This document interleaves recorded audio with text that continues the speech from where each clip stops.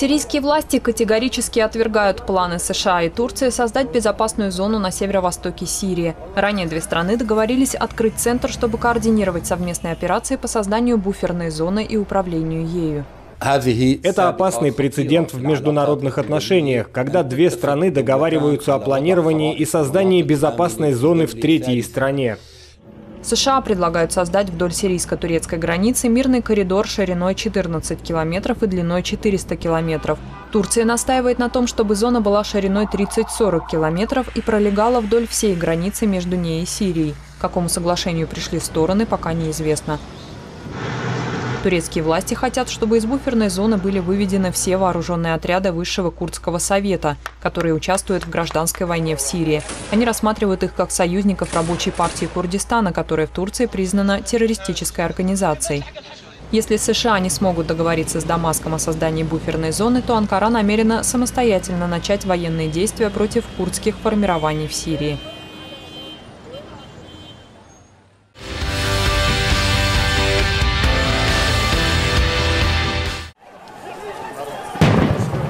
На улицах Бишкека слышны звуки сирен и выстрелы. Сотни сторонников экс-президента Кыргызстана Алмазбека Атамбаева вступили в стычки с полицией после ареста политика.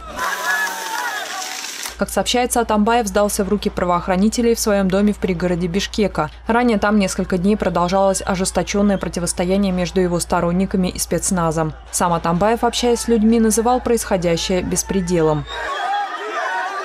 Потому что если они плюют на законы в отношении экс-президента Атамбаева, ну, простых людей, конечно, они вот так будут, как вчера, как за баранов считают. Это надо остановить. Этот беспредел надо остановить.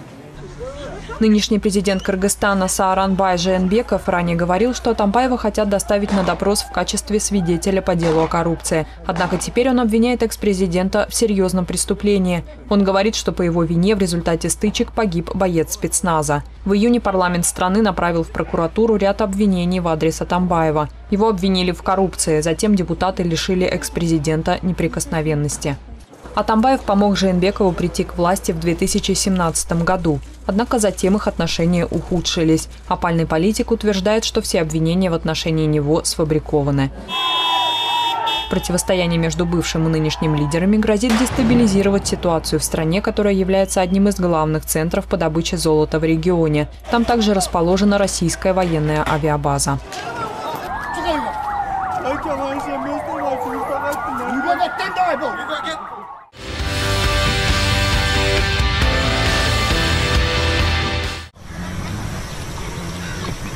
Конфликты на границе Индии и Пакистана в прошлом вспыхивали не раз из-за спорного региона Кашмир, который делят обе страны. Недавно он снова привел к кризису отношений двух соседей. Пакистанские власти запретили двустороннюю торговлю, железнодорожное сообщение с Индией, а также показ индийских фильмов в кинотеатрах. Они также выслали главного дипломатического представителя Индии.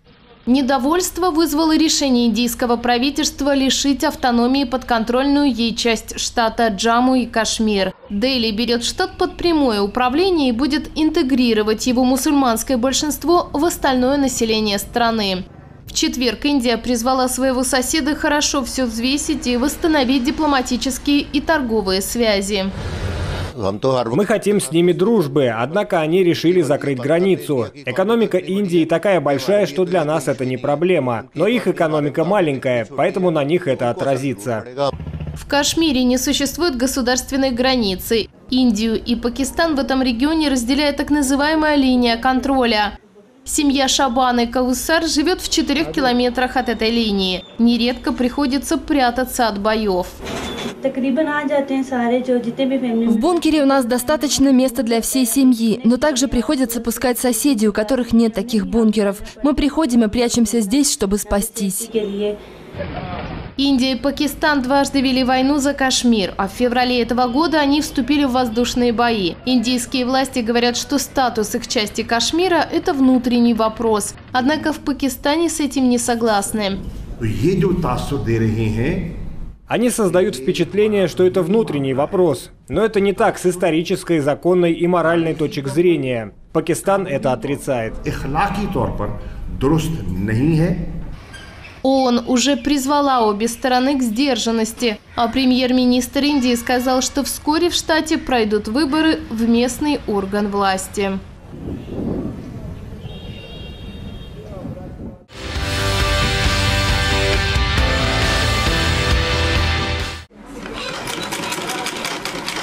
В 2012 году нигерийке Клаудии пришлось уйти из колледжа, поскольку семья оказалась в затруднительном положении.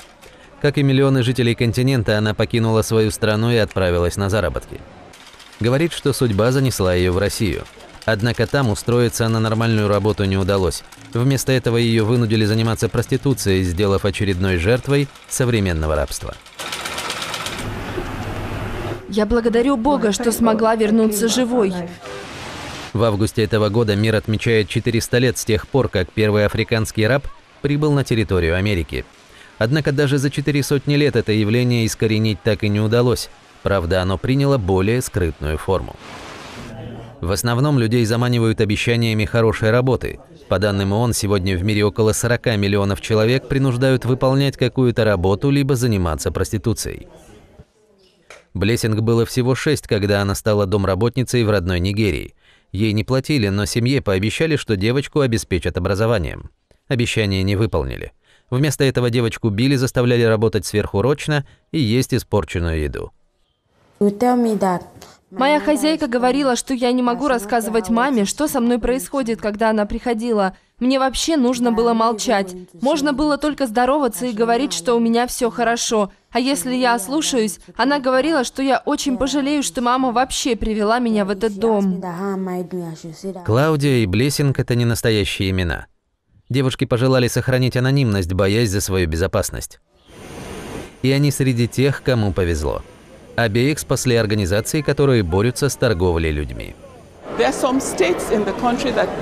В некоторых штатах страны родители гордятся, когда их дети уезжают за границу.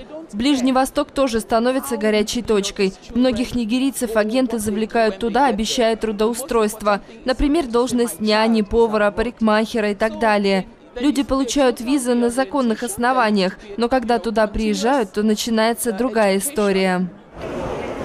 Торговцы людьми обычно отбирают у работников паспорта. Так они оказываются полностью зависимыми в чужой стране.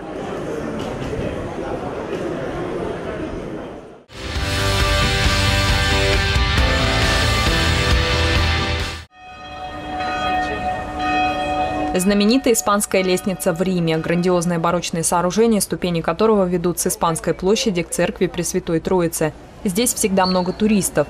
Но вот раздается пронзительный свисток. Оказывается, на этих ступенях теперь нельзя сидеть ни секунды, даже для фото. Это смешно и глупо. На камне всегда хочется немного отдохнуть. В итоге приходится идти дальше. Нарушители безапелляционно поднимают. Тем, кто ослушается, грозит штраф от 160 до 400 евро. Думаю, не давать людям сидеть на ступенях – хорошая идея. Они старинные и их легко повредить. А вот сумма штрафа, возможно, немного завышена. Работы у полиции много, свист раздается постоянно. Ведь никаких знаков, оповещающих о запрете, пока не установили. Власти говорят, необходимость меры зрела давно. Слишком много людей подолгу сидело на этих ступенях, перекрывая проход. Некоторые устраивались здесь пообедать, принося еду из близлежащих закусочных.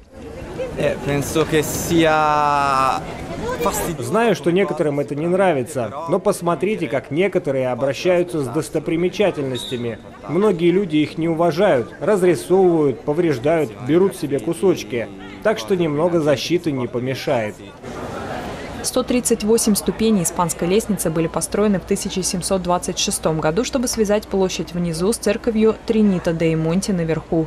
Итальянцы называют эту лестницу по названию церкви. А вот в английском закрепилась испанская лестница, поскольку рядом на площади находится посольство Испании. Знаменитой на весь мир лестница стала после выхода в 1953 году романтической комедии «Римские каникулы» Содри Хепберн.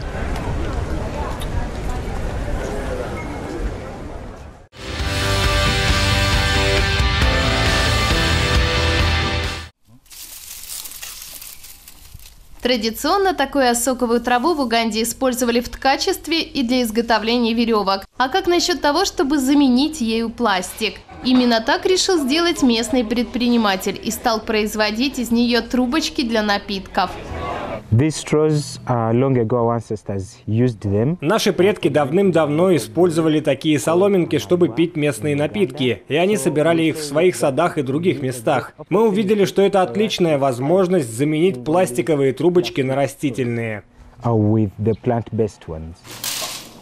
Акрам основал компанию в марте этого года со стартовым капиталом всего 55 долларов. Сейчас в ней работает три штатных сотрудника и 10 занятых неполный день. Они сортируют, режут и шлифуют стебли осоковой травы, а затем подготавливают их для очистки и сушки. Дезинфицируют в три стадии. Одна соломинка стоит порядка 25 центов, но предприниматель делает скидку оптовым покупателям. Один из них – вот этот ресторан в столице Уганды. Мы увидели, как много пластиковых отходов накапливалось в нашем ресторане, особенно пластиковых контейнеров и трубочек. Мы решили, что наше заведение – прекрасное место, чтобы начать использовать трубочки.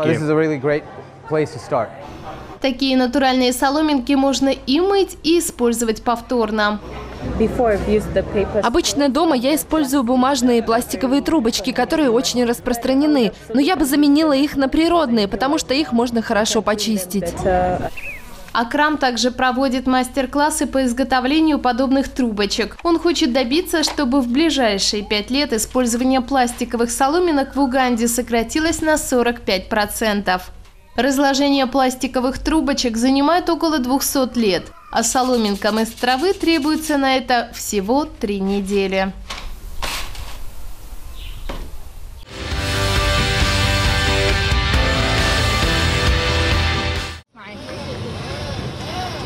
Прогулка по Нилу на велосипеде. Такой новый вид развлечения появился в Каире. Водный аттракцион открыла египтянка Мааб Ахмед. Идею почерпнула в Италии. Там уже давно популярны катамараны, сделанные на основе велосипеда. Мне хотелось, чтобы люди двигались. Я мечтала сделать что-то, что мне самой понравилось бы. Поэтому, увидев такое, я обрадовалась. Мне захотелось поделиться радостью с другими. МААП заказала в Италии несколько комплектов водных велосипедов и открыла пункт проката. Конструкция очень проста. К велосипеду крепится специальная рама, а на нее надувные подушки и винт, которые приводят в движение педали. Сесть на необычный транспорт решаются даже представительницы прекрасного пола. Я думала, что я упаду в воду с этого велосипеда или еще что-нибудь случится, но оказалось это совсем просто, никаких трудностей. Сотрудники компании выбирают для прогулок хорошую погоду, когда течение спокойное. Место для прогулок выбрано так, чтобы обеспечить людям безопасность. Это наш приоритет. Основательница компании также позаботилась, чтобы река в месте проката водных велосипедов была чистой и чтобы с воды открывался красивый вид. Полчаса такого развлечения стоит примерно 6 долларов США.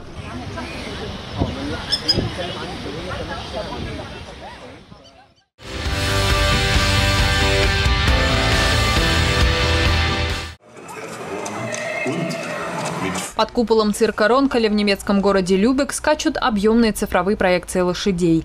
Здесь, благодаря голограммам, традиционная форма выступлений заиграла по-новому. А вот и слон приветливо машет ушами зрителям. Это первый в мире голограммный цирк. И изображения с каждым днем становятся все более реалистичными и качественными. В 2018-м отметили 250-летие классического цирка. Мы хотели его сохранить, а также показать, как традиции могут развиваться. Чтобы голограммы проявились, вокруг арены натягивают специальную сетку. С одной стороны на нее напыляют металлические частицы, а с другой – что-то, что поглощает свет. Получается очень хороший контраст. И вот на арене появляются гигантские слоны. У нас слонов никогда не было, но ведь это традиция для цирка. Помимо голограмм, зрители развлекают выступлениями акробатов, жонглеров и клоунов. Например, клоун Генси появляется на арене и в виде голограммы, и вживую. Каждый день я смотрю на своего героя в виде голограммы. Это так странно.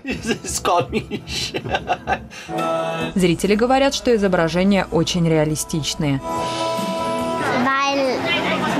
Я не поняла, как они это сделали. Было очень интересно. Сначала я все искал, откуда идет свет. Я подумал, какая замечательная идея. Не знал, что такое возможно. Изображения очень четкие, почти как настоящие. Намного лучше, чем использовать живых животных. Вместо них могут быть голограммы. Ронколи – одна из крупнейших цирковых компаний в Европе. Она включает около 120 сотрудников и 80 исторических цирковых вагонов.